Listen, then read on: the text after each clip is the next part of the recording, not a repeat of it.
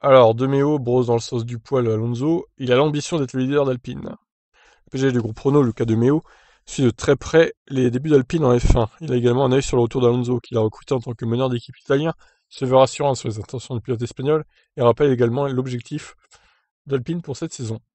Il a l'ambition d'être le leader dans l'équipe, a-t-il déclaré à Sky Italia. Au début de la saison, je lui ai demandé d'assumer ce rôle de leader, et je pense qu'il le fait très bien. Il a beaucoup d'expérience, mais aussi un niveau élevé. Tout le monde en F1 sait qu'il est un compétiteur ambitieux, ce qui le rend exigeant. Je serais heureux si nous obtenons quelques podiums, quelque chose de plus par rapport à l'année dernière, mais ce qui me rendrait vraiment heureux, c'est de voir une équipe qui affiche une bonne progression. Nous voulons préparer la saison prochaine en cherchant des solutions pour être vraiment compétitifs.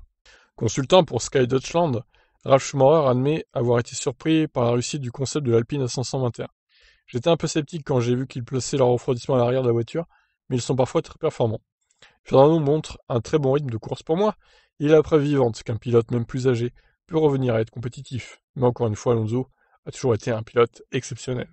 Alors moi, je trouve son retour à Alonso pour l'instant assez, euh, je veux dire moyen bon. Hein. C'est pas, on pouvait s'attendre à mieux de la part d'Espagnol, qui se fait quand même régulièrement devancer par Ocon, que ce soit en qualif ou en course. Donc voilà, euh, j'attends de voir ce qu'il va donner, euh, encore une fois, à Monaco, l'ami Fernando. Je pense que tous les fans attendent ça depuis Fernando. Je rappelle, hein, Monaco, les essais sont dès jeudi du coup, les essais 1 et 2. Il n'y a rien le vendredi par contre. Bon je vous laisse, ciao.